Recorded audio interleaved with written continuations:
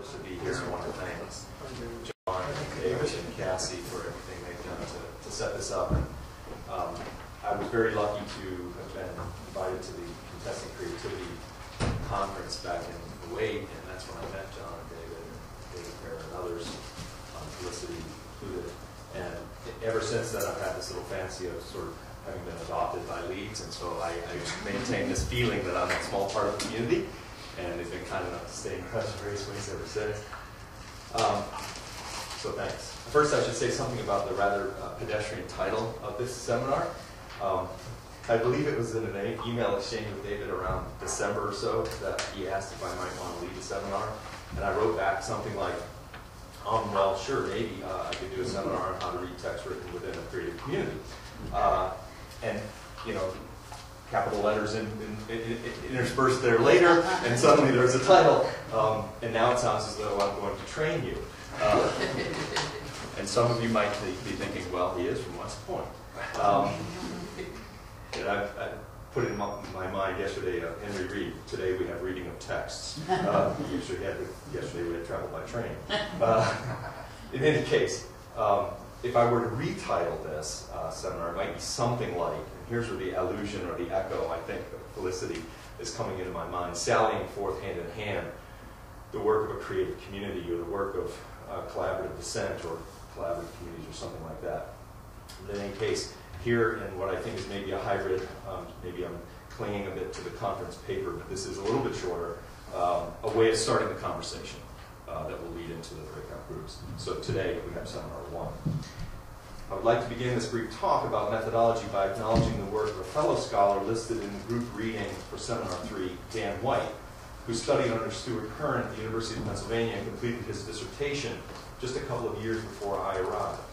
Because I too enjoyed the mentorship of Professor Curran as my dissertation director, and because I was likewise interested in the Aikin-Barbauld Circle and the Warrington community more generally, I found myself following very soon Stuart's advice and reading Dan's dissertation, which, as we know, became the superbly authoritative Early Romanticism and Religious Dissent, Cambridge 2006.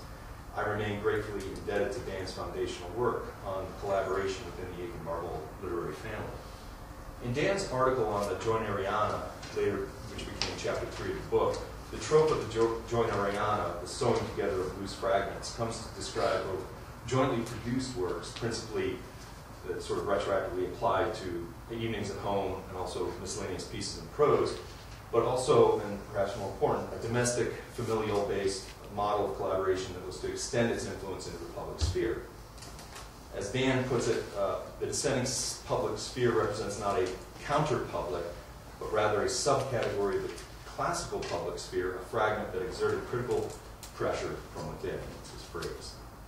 The Joineriana trope accurately accounts for the literary mobilization and subsequent exportation of dissenting virtues and values to the nation, the socio-political phenomenon itself, but it does not, accept obliquely, imply anything about the precise nature of the collaboration or how best to read the texts generated by that collaboration. I too see what he calls the, quote, collaborative nature of dissenting cultural production, but my interests have been and they remain in the details of the collaborative dynamics, or perhaps what might be called the collaborative logistics undergirding that production. I'd like to offer, therefore, a different metaphor for us to think about, one that derives from the same domestic space within the dissenting sphere, and that is emblematic of a specific method of collaborative production. And it's a trope that speaks to a conversible mindset within the Aikin-Barbauld circle, and beyond that, to dissenting rhetorical and reform-minded strategies. In Spectator number 60, one of the papers on wit, Addison defines a particular language game called bouts-rimés. I believe it translates as end rhymes. A list of words, this is Addison's definition, that rhyme one to another drawn up by another hand and given to a poet was to make a poem to the rhymes in the same order that they were placed upon the list. For Addison, there was no question that it belonged to the degenerate species of wit, and he professed not to, quote, know any greater instance of the decay of wit and learning among the French than the resurgence of this form's popularity in that country.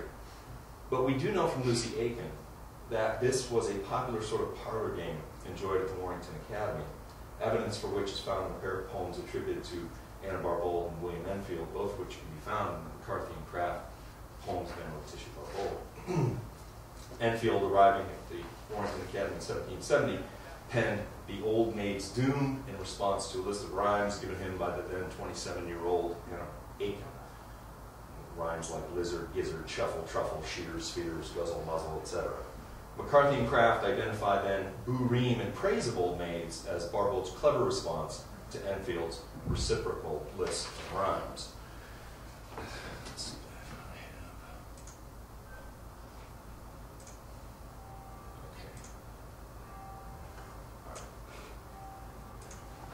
I wasn't sure if I had that. it, it's a simple language game, this one. One hand supplying the expostulation, if you will, the other hand supplying the reply, a necessary reply or a necessary complement. The composite expression represents a simple form of joint literary production, independently written parts of a rhetorical whole.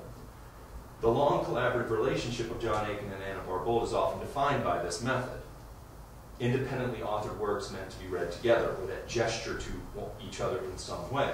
And we see this model of cultural production at work in the independently authored pamphlets addressed to the opposers of the repeal of corporation, a repeal of corporation and test acts, and addressed to the uh, dissidents uh, on their late defeat. The first being, of course, famous, and we all know that as by a dissenter, that dissenter being uh, Anna Barbauld, and then this one by her brother, and they, on that day of publication, 17, uh, yeah, 1790, uh, March 27th, had these reciprocal advertisements. So they advertised each other and were, in a sense, meant to be read together. the two pamphlets were occasioned by the parliamentary debate on March 2nd, 1790, and the ensuing vote not to repeal these acts of exclusion, which had long been prejudicial to the civil rights of dissenters. Obvious enough is the fact that Anna addresses the establishment while her brother addresses the beleaguered dissenting community. But the complementary aspect of the two pamphlets goes much further than that. And we also find, and I'm not going to enumerate that, we've, we've read these and, and perhaps we'll talk about that during the breakout sessions or and talk about other aspects too. But we also find this kind of complementarity at work in Sins of Government, Sins of the Nation, by Barbauld and Aikin's Food for National Penitence, or a discourse intended for the approaching fast day, sibling pamphlets, if you will, published in 1793 this time, although not on the same day. We likewise find a dialogical responsive aspect to certain essays within miscellaneous uh, pieces in prose, uh, in uh, magazine pieces that echo uh, letters from a father to a son, and, and, on and on. I could use a bunch of examples, but I'll just say that uh, I could go on, and there are a number of ways the gesturing occurs, the responsiveness occurs.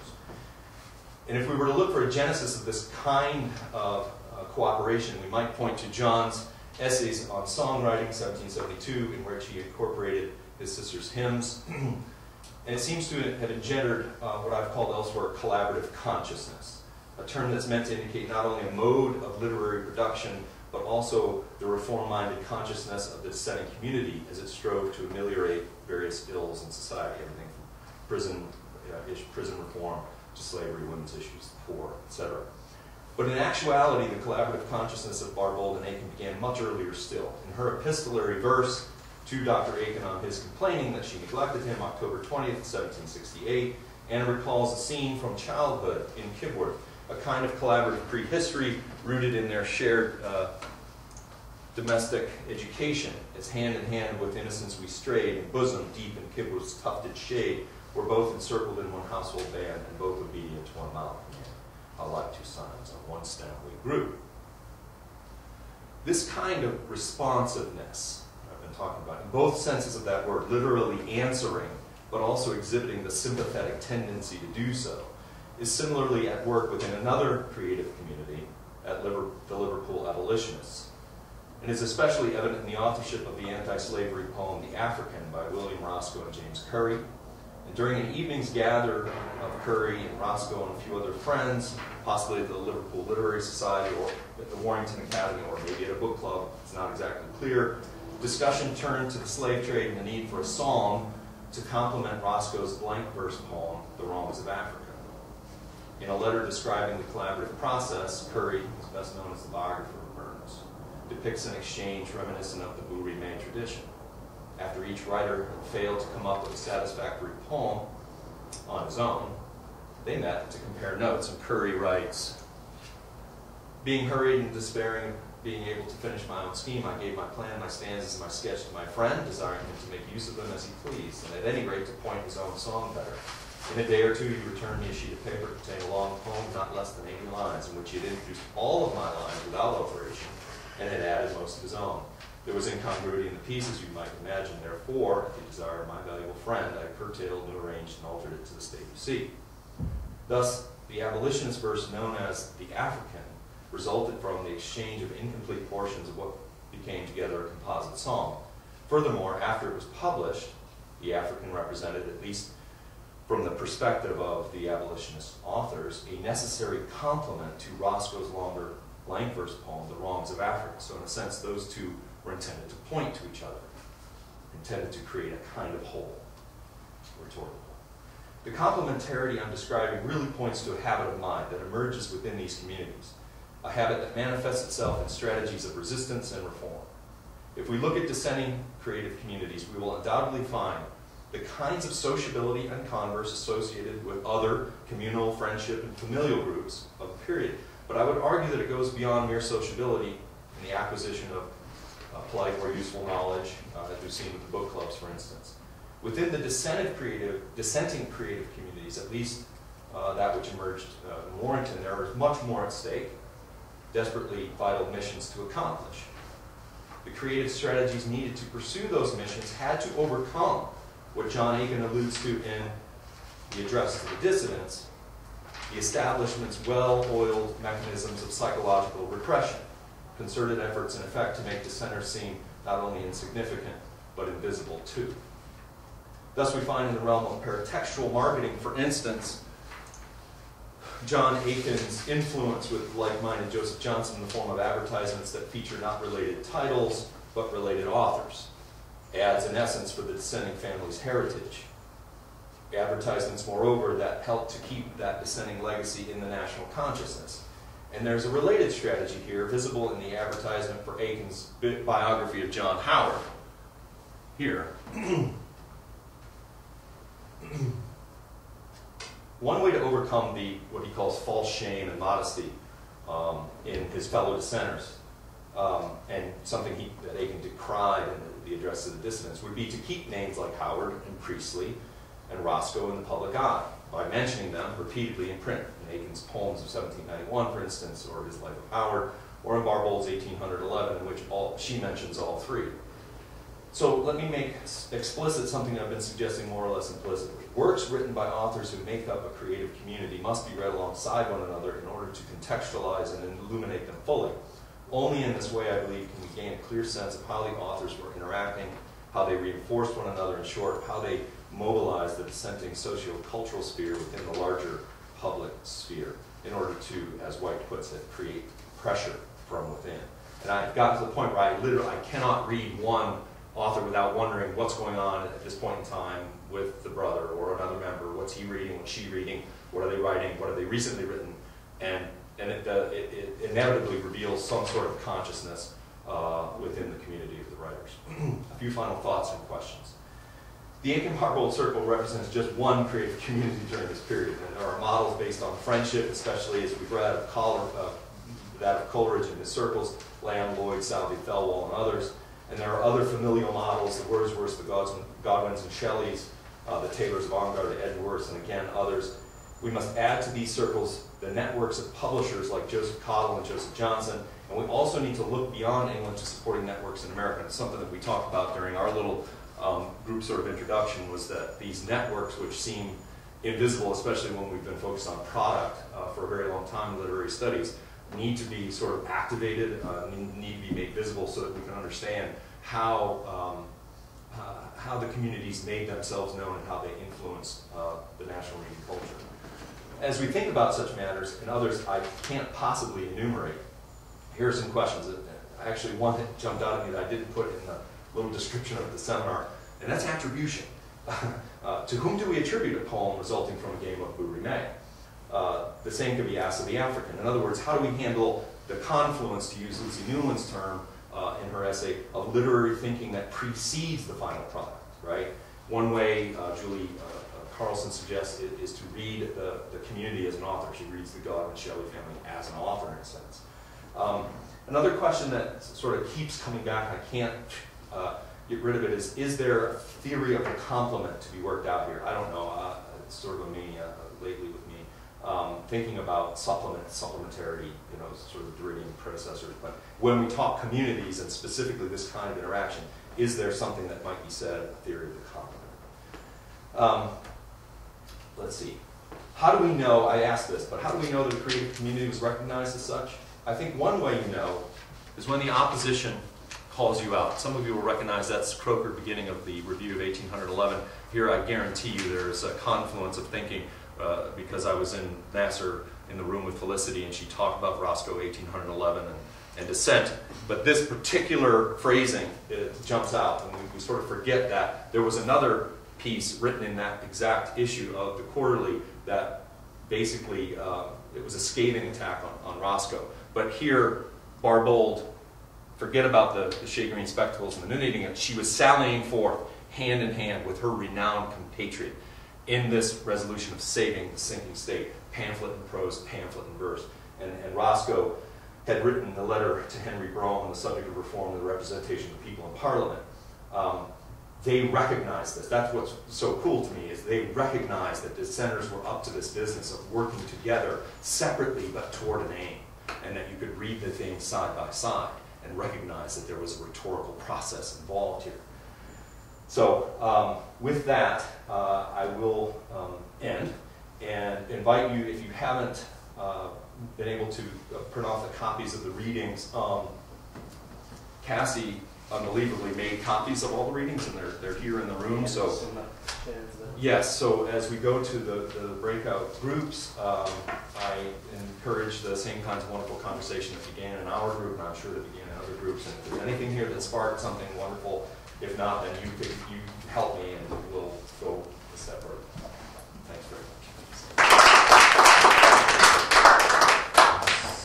Approximately 15 minutes total for this, this little portion. So maybe just a little recap of four minutes. Questions, issues, that you found uh, particularly pertinent. Uh, so we were talking about the Dave Fairer um, chapter, both in terms of the way um, David brings out the, um, the possibilities and potential of the creative community, but also the, the fears it engenders at its members and some of the problems. And we were thinking that it fitted in quite nicely with what uh, David was saying at the beginning of the day about the ways in which community can both foster um, creativity, but also occasionally stymie it and stifle it.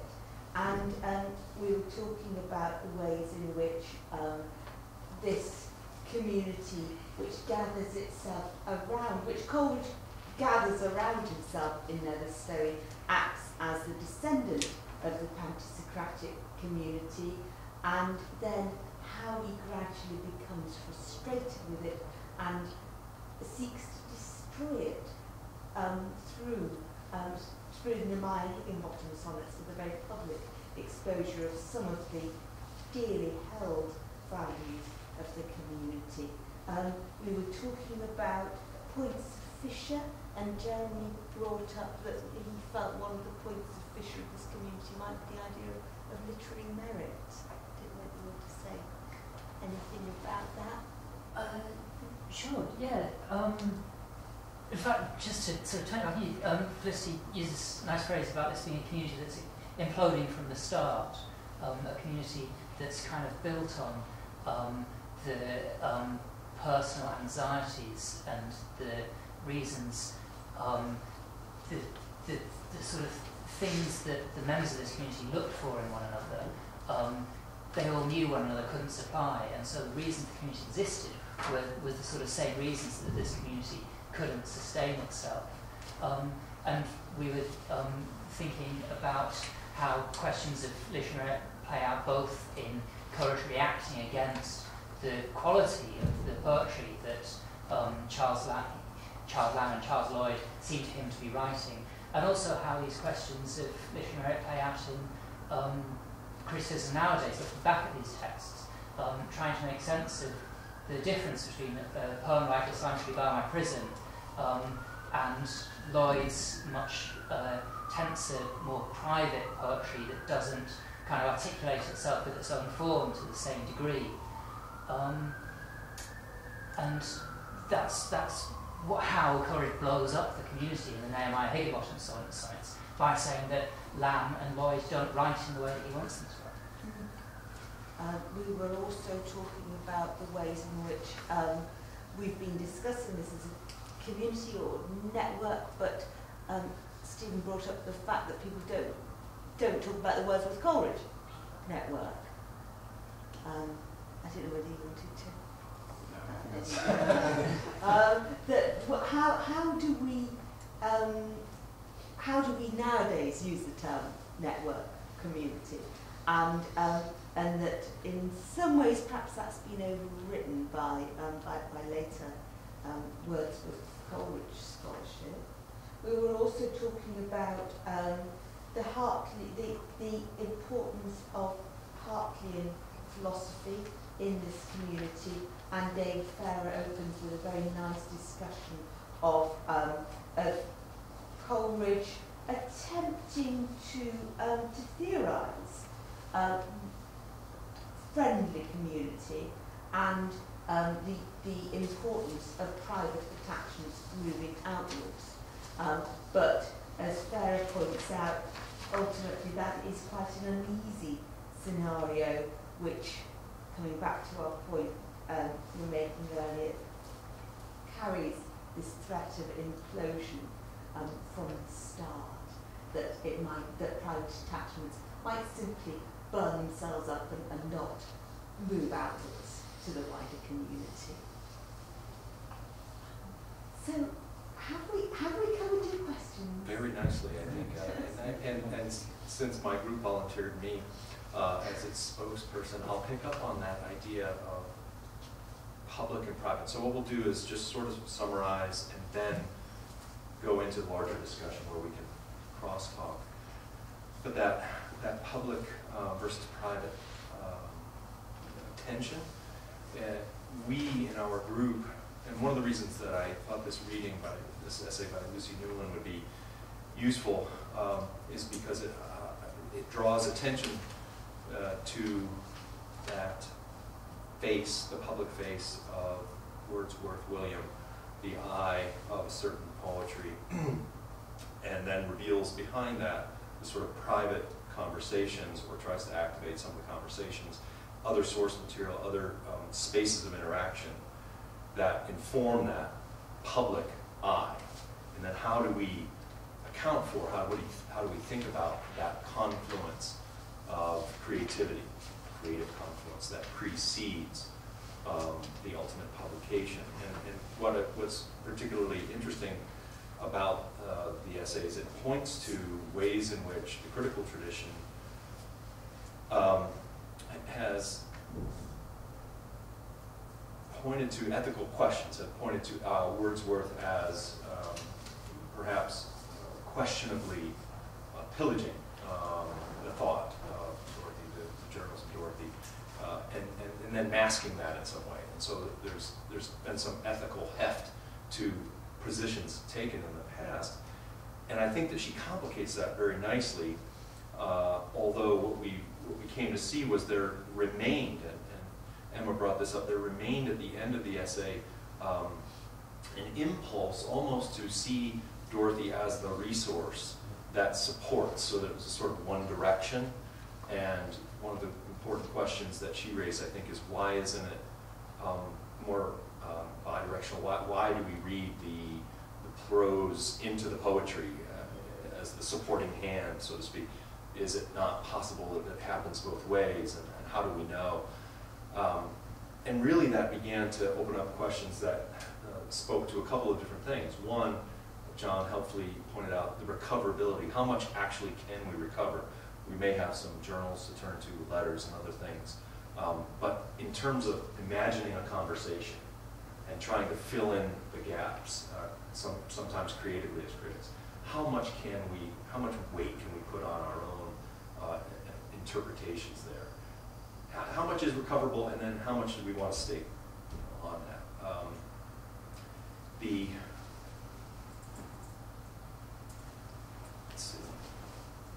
The engagement with metaphors, though, we thought um, was helpful in terms of trying to read the relationship. Uh, and there were a number of ways to do that with, uh, William Dorothy, and I, not particularly here because this is Alfoxden and looking at different uh, poems, the, the Daffodils, the Prelude, Tintern Abbey, but the crossing of the brook um, as an interruption.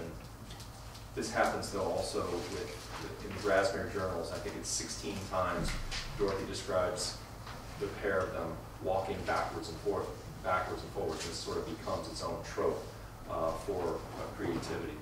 Um, what ultimately maybe we seized upon, and Tessa really brought this out, was that at the end, maybe the argument ought not to be how to configure the influence of the conversation or the, the hand of Dorothy helping to create the Wordsworth poetry, but maybe it's about the unknowability. It's given the nature of that creative process, really the argument perhaps is that we can't really pin it on someone at the end of the day.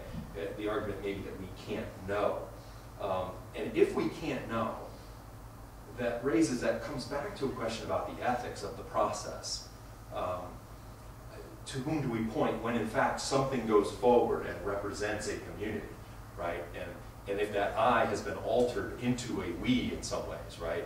Or the I's elided altogether. Uh, and if that piece of writing, an abolitionist poem for instance, makes a real statement and, and, and causes a ripple effect, right? A political sort of, to whom do you turn, right? And uh, how does that uh, reflect ethically? How do we think about that uh, in terms of the ownership uh, within the community? Uh, I will just say one, one note, sort of sum this up. I really also like just the simple fact that what Lucy Newlyn does in this piece is turns to a couple of different sites of, of creative conversation, including the mutual reading, the shared reading of Gilpin.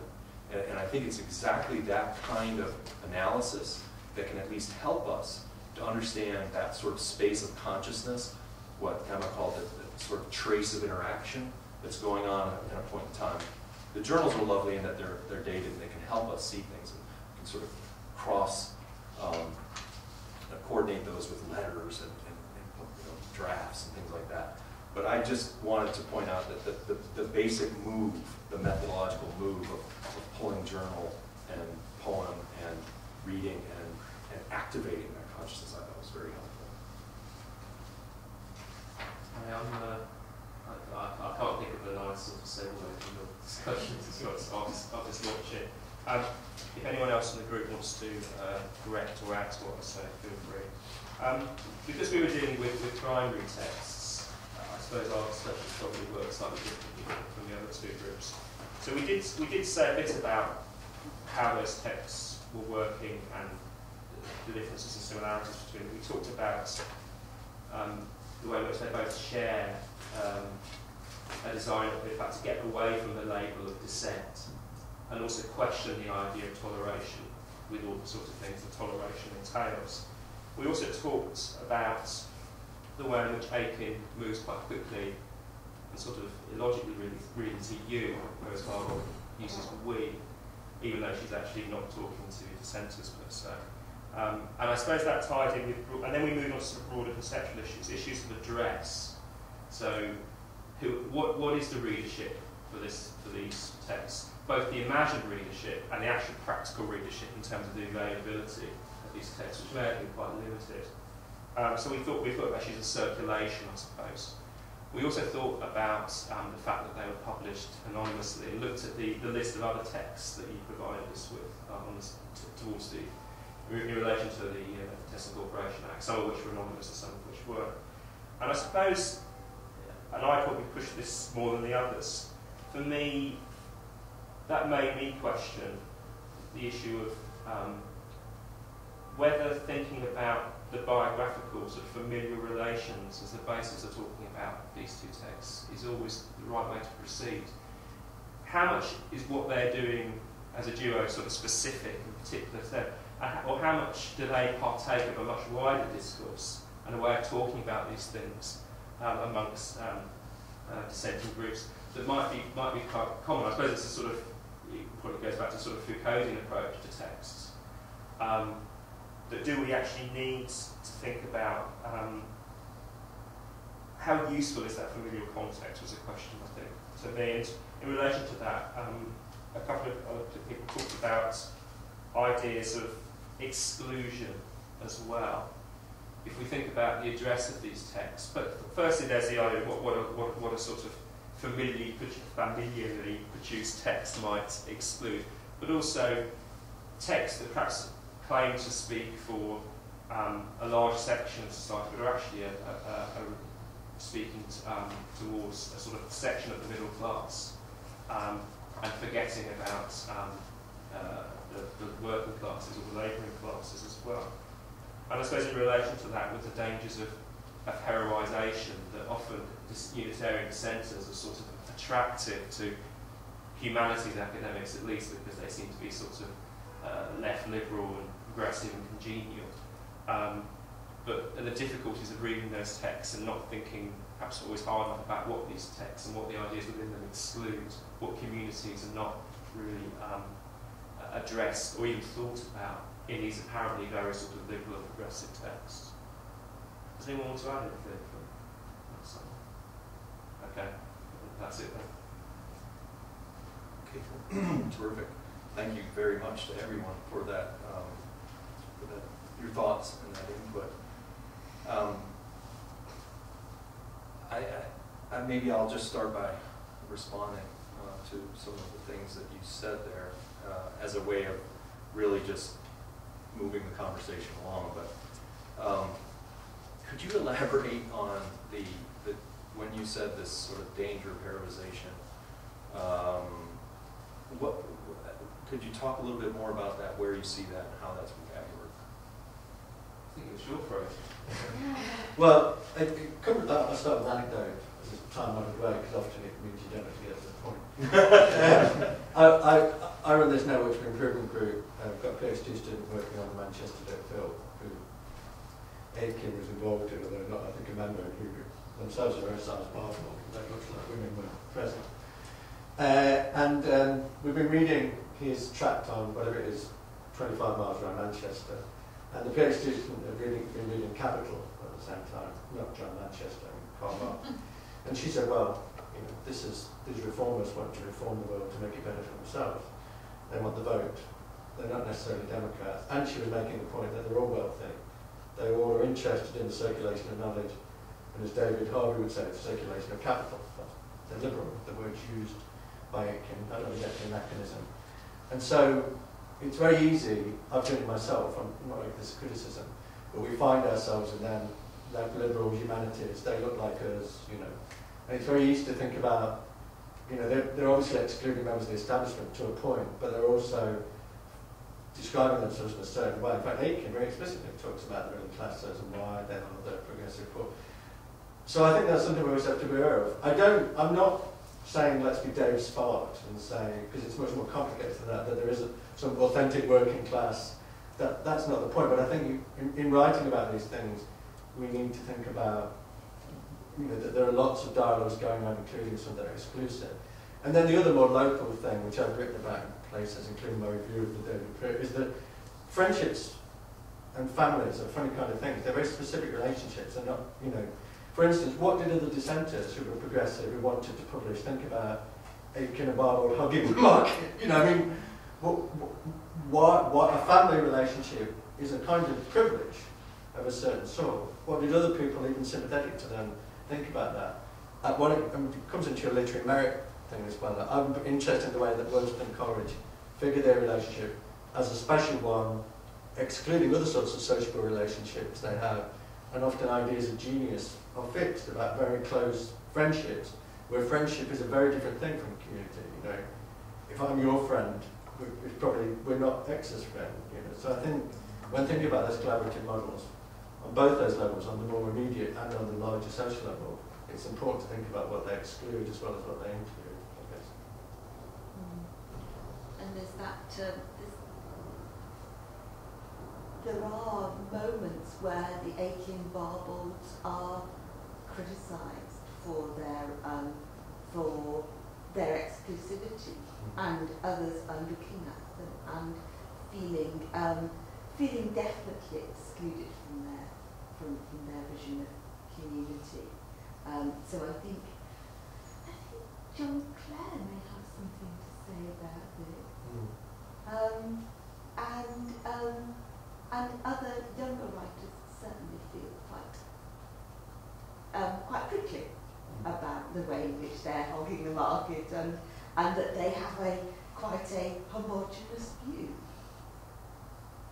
So What, what, which younger writers do you I'm blanking on who it is, but um, he's a. Uh, keep thinking about who it is. Well, it's just, I find it a little bit curious as a way of thinking of it because, you know, she was a rarity Barbauld. I mean, it's not as if there were sort of tons of people wanting to to, to sort of come in behind behind her. So I, I just don't, you know, I don't know who she would be keeping out, or even whether just the fact that she was and she wasn't particularly prolific. Well, well, I'm just the fact that she published I- every now and then would it- stop other people. it's more thinking about friendship and family as terms. I'm not, not so much, as I said, bagging out Barbauld for that, but Yeah. thinking about the way that if we're going to use friendship and family, we might think about them structurally as what they exclude, rather than sort of blaming, blaming her. Because I think, I mean, one of the things I've been interested in the Manchester Lit Phil is they very early on write an essay about the importance of female learning and how they see their idea of improvement. But as far as I can see, no women got to go to the meetings. And that's another form of exclusion. Dissent often seems very open, talks about female education, but if you actually look at lots of the clubbable and sociable activity, women were excluded. And indeed, you know, Barbauld was at Warrington, but she's not a student, as you know. So there are things like that, I think, always to think about. It's just, it's not about criticising them as a peer, it's just thinking about, I mean, when we think about things as forms of inclusion and collaboration, we might also be thinking about what they're excluding. the norm was exclusion of women, really, Yeah, yeah, yeah. Um, and, you know, so I, I think by that standard, their circle was remarkably inclusive. Um, I mean, in class terms, you know, there was a lot going on there, wasn't there? I mean, they were looking at that moment over the channel and seeing what they saw as the revolutionary middle class transforming a society. And obviously felt this was their moment, you know, and that it would bring benefits for the whole of society, including the labouring class. Um, so, you know, they, they were perhaps, or perhaps definitely deluded in that way. Um, but it was an understandable delusion. and Yeah, it was no, certainly but- progressive. But again, it, it's not about blaming them for what they think. It's about thinking. And partly it's a guilt when Jenny turned to me and said that. Because I've, like, you know, you're largely inevitably working on middle class formations. As soon as, I mean, I am actually working on the LCS and stuff, but the, which have a lot of female labour involved, and there are not many women writers, in fact. But, but I think we, it's just that we need to, I think, keep that in mind. It's not so much you're blaming people for being middle class. I don't think that's going to get us anywhere. But I think bearing that, that their idea of improvement is, a, in some sense, a political radical one. And one of the things I've tried to be warning, this, sorry, this is not meant to be a therapy session for the, the was a supervising for PhD student, especially when she sees this podcast, so we turn the camera. but in a way, as well, there's also obviously a danger of teleology, Yeah. because although these are, these become the 19th century elite, and you can track the names where things become relatively informal book clubs, then it becomes the city council six years later. It's the same. But there's a danger of reading the future into the past. But at the same time, a lot of these families are very wealthy, they do have dominant position. So I think to lose the fact that, for instance, that Aikin track about improving the landscape around Manchester is about making it more efficient as a manufacturing base and feeding large numbers of labouring classes into factory jobs. I mean, he would have had humanitarian, there were complications about it, right, but I wouldn't want to forget, that's what I'm saying, I wouldn't want to forget that perspective. It's not about, I don't think the point, nobody was making the point that, you know, Aikin and Barbauld are in it for, for themselves. I don't think that's the point, especially because I think you're exactly right about Barbauld's virtually unique, uniqueness, I think. One, one thing that might, just to maybe uh, alleviate some of the concerns of the, of the student is that if you look at what You need to adjust the camera. But, you know, there was something at stake, and when Aikin continues to pursue the political pamphlet work, and he's living in Yarmouth, eventually the establishment makes moves to um,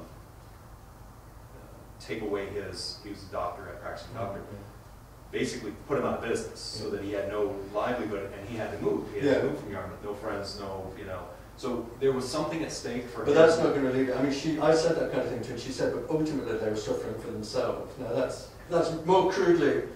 She didn't put it that crudely, but there's a sliver of truth to that. Well, that that's not quite an answer to the. the larger dissenting community. One of the ways that I, I mean, we might say there's some exclusion going on, but the other thing to say is, it appears that they were the ones recognized and speaking for the dissent, larger dissenting community, this, regardless of sex, that they were able to take on that sort of identity, which says something, right? They're, they're, it's like they're edging out a bunch of other people to do that.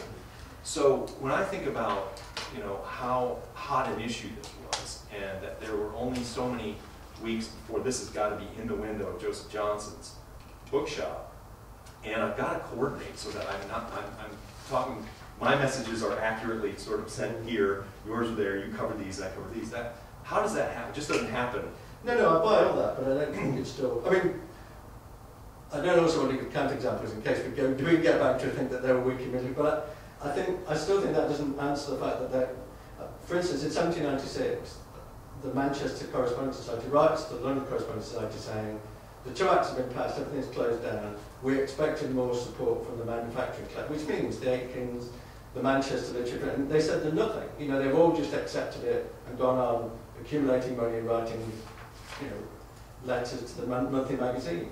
Now, that's not, you know, I'm not, it's not that one should sit with the, with the, from posterity looking back and judging them. Mm-hmm. It's to realise that those tensions are there and are shaping this field. I don't think it's, I don't think it's a question of questioning people's personal commitment, or in the fact that individuals with it may have been more or less democratic, you know, or more or less humanitarian. I'm not suggesting these are all wicked factory owners existing behind a smiling, happy face.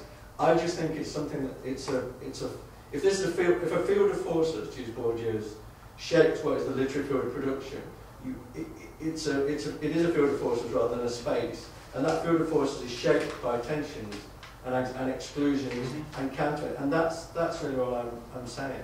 It's not that, they, you know, it's not to doubt their genuine commitment, or that, that some people may have been more or less democratic, or the fact that they faced prosecution and imprisonment. I just think it's a thing we have to take account of that shapes the field. And it's been, it's been attentive, isn't it, to that historical process. I mean, like some of the other examples that we've, we've read in preparation for today and tomorrow, uh, like books, for example.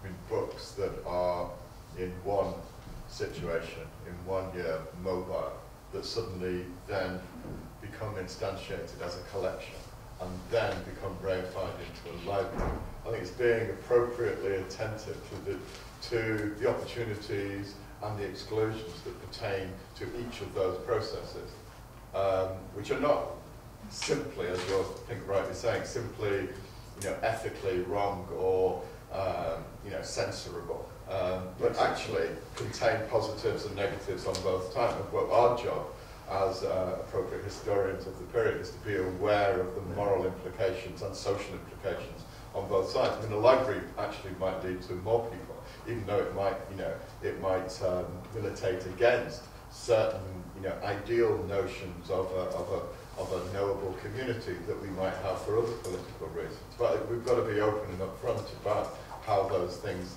uh, modify and, and, and the shifts of opportunity and exclusion that are always simultaneously involved. No, that's right. Cut whatever I said and keep that. That's very eloquent attempt to say what I said. No, no, no. It's that, it's that, isn't it? So it's not about, as you say, it's not about blame culture. It's about being attentive, sufficiently attentive to the complexity of, of the historical Yeah. process. I mean, because, I mean, to put myself in your point of view, which is the one, just writing them off as middle class, Yeah. it's just not, in, I mean, it's just not, in, it's just not interesting. You know, it's like, so that's that all over, you lose the sense of the complexity and the fact that they're in process and But I, in I like difficult the fact that you're drawing attention to the reflexivity of our discussion and our community and you know, it, it, we're just not used to the middle class being talked about as something visible and Yes. but we probably feel it should be Yeah, yeah. more, you know, or a certain kind of middle class. So I don't know. It's, it, it, it could lead to interesting questions about what we're doing to. I'd, I'd like to know a bit more about aesthetics. I mean, going back to Jeremy's point about, you know, the Wordsworth Coleridge scenario, Coleridge is, um, yeah, um, exploding, as it were, um, on the basis of literary quality. I mean, it, I mean, and maybe, I don't know, I mean, but people have got other contributions to make. Extending it beyond literary aesthetics to other kinds of quality, about a regulation of quality within the processes of thought and conversation. That's to say, most of these people are operating with key words and concepts uh, to do with quality, such as improvement. And what are the implications of operating upon a dynamic of improvement and other key words of quality for exclusions? In other words, even a very basic level of exclusions on the grounds of competence. I mean, what kinds of incompetence, as it were, um, are allowed for within any of these groupings? Seems to me to be a really interesting question. I mean, can, can you manage the text, you know, he says to himself, that, we've, that, that I've been reading for today? You know, how did I have enough time to read them? Did the rest of my life, you know, as I was trying to cancel that, allow me to read them carefully enough? Or do I have the mental capacity to, to read them. And I think some of those, those constituent elements within the human beings that make up these groups and what they're capable of attaining within intellectual labour by way of quality mm. is a really interesting question that has some really serious implications for the de- democratisation mm. that's supposed to take place. Mm. I don't know, I, don't I, I, I think that was very, that issue was very interesting brought out by the example you gave Scott at the beginning of the, of the um, Roscoe Currie poem because it, you know, it wasn't simply that they merged their ideas. They wrote their individual things. One thought that they, they each thought they were inadequate. Is that right? Um, one passed to the other, thinking, you know, with the as a compliment that he would improve the thing by combining them. Um, he managed to include all of each of their lines. so there's very, very delicate negotiations yes. going on there in terms of quality. And then it was passed back again to the first person. Um, so, yeah, I mean, I, and I think that's there with, with Barbauld and Aikin too. I mean, what always strikes me about Aikin is how extraordinarily non-competitive he is with his sister. I mean, that is, that's really extraordinary. He always seems to be very willing to pay tribute to her. Um, and it's her, um, it seems to have been her um, uh, pamphlet on the dissenting issue that, on, on the Test and um, Corporation Acts that won attention you know, that was considered yes. the best yes. by outside observers.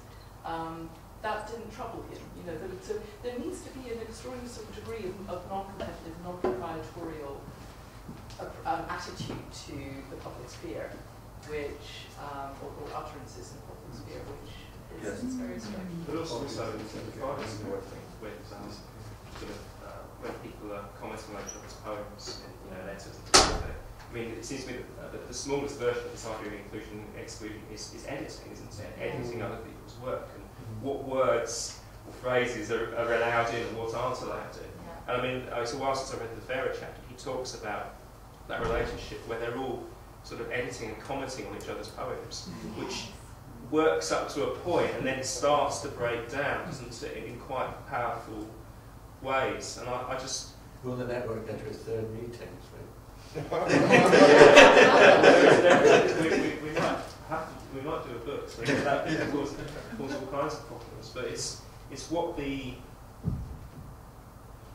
what are the rules of, of editing and responding to other people's work? So we all do all the time. It's it's a constantly you're constantly sort of tacitly negotiating with the other person, aren't you? What what what's acceptable, what isn't acceptable, and it's really hard to to manage that. And I think when you can actually plot that out, as I think David does to some extent, it's quite, it's quite mm. incredible, I think, to see those tiny little, little movements. And this, I suppose, answers or is one of the questions Scott asked about what does a text look like that's been produced out of the community. it, you know, it exists in multiple drafts. It looks like it's got different people's handwriting on it. And, it, you know, we might still be able to see traces of its internal inconsistencies in the apparently finished product. Maybe that's what a sort of exemplary text produced by a community is that kind of contains that form of heterogeneity within itself. That's something I think Felicity talks about with the elusive quality. There's so much in the friendship poetry, right? Or the poetry of the friends that becomes immediately elusive and self-referential. And It's just the community i- is living through it. Yes, so we've got, um, there, Barry talks about this beautifully, the way in which this Lime-Tree Bower becomes, a, um, both in its imagery and its illusions, a poem of relationships that's all about um, working together. And yet, of course, it also includes the image of gentle-hearted Charles that, that, that is fiercely disputed by, by its subject. And within it, it also carries the memory of Coleridge overwriting Lamb's sonnets. Um, so that this is on, on one on one level an exemplary poem of community, but it also um, exemplifies some of the major problems of trying we have to think about it. I mean, I've always been rather bored by Tilottama Rajan's reading of the conversation prose, which is that you know, he inscribes conversation in the text. I mean, that's- it's before Foucault theorised it, but you know, conversation is inscribed in the text to produce some third position, which is synthesis, but is really Coleridge. You know, so that Sarah in Sarah interrupts, you seem to listen to her voice, and then you, you know, it allows you the position that is no longer Coleridge or Sarah in the text, but it's some point of transcendence, to put it crudely. Similarly, in that poem, you know, there's that the classic reading of it as really the, the not being with them is better, actually. And it's interesting that there's that anecdote that Lamb himself objected to being named in a poem that in some ways is about not needing to have been with Lamb. You know, that it's better to be in your Lime-Tree Bower My Prison because you're allowed a kind of richer experience. And that, so I think I, the simplest, one may disagree or agree with those readings, but I think one thing to say is in thinking about forms that go from the sociable, it's important not to forget mediation, i.e. that, that, that we shouldn't assume they represent what happened. They have some sort of relationship to it, but that relationship might be quite complicated. It might just not just reflect it. So there are ones where kind of conversation is built into it, but it may not be traceable back to conversation as such. I've always thought, I mean, this came up, I think, interestingly, the Wordsworth Coleridge thing. I mean, in a way, Lucy Newlyn's work is the end of a long tradition. It's always been happy about talking about illusion between Wordsworth and Coleridge, because it's they're both geniuses and it's properly literary. And in a sense, they build that into their poetry. You know, why the only other person in the prelude, in a way, is Coleridge and to an extent Dorothy. They're special kinds of relationship. And that goes back to it. Is the point? I mean, it's part of the point, they're literary marriage. You know, Coleridge and Wordsworth define each other as people who have got it, as opposed to other people who haven't got it. And and the problem, for someone like me, I'm always likely to go down that road. My problem is when somebody says, but isn't it true they both have it? And other people don't. And I just go, well, let's not talk about that. I mean, I don't entirely agree with that. Anyway, I've got a quote at the end of my paper where Southey writes to Humphrey Davy about all these people in Bristol and says the fact is, Beddoes and people, you say what you like about them, but they don't get, they can't do poetry. And he says, interestingly, two people who, you know, haven't come down to us in the kind of Southey and Davy, that we do, we, we have, our friendship is this spark, which is a spark of genius, which is seen as some sort of communion, which is different from just the messiness of social interaction. I think that's the thing you often find. If you, if you can do it, you're in the club, and if you can't, but there's clearly other, it's never quite just aesthetics, is it? You know, it can be gender, it's a, in a way Coleridge flips about his estimation of Barbauld. He thinks she's a genius in, in the middle of the 1790s, ten years later he thinks she's an old gusto. Well, so, so, so, I mean, just going back to competence in that, I mean, hmm. in, you know, in terms of regulation and requirement for entry into a dissenting academy, I mean, we're talking about a selection process that is based on forms of attainment. Mm. So, you know, the, these, these, this, this quite rigorous processes of selecting out and selecting for, which are, Try it. yeah, yeah, yeah, yeah. yeah. Um, also, we might reflect on our own situation in that regard. Yeah. How did we come to be? Who dropped out? Uh, uh, well, well, let's stop it there. Might be a good moment. So I'm sorry to, to have to move things on because this is a really interesting discussion. discussion. Well, you are the selector in chief. I mean, uh, yeah, so wriggling out The of food co in the room. Um, but uh, could, perhaps we could um, thank Scott for Yeah.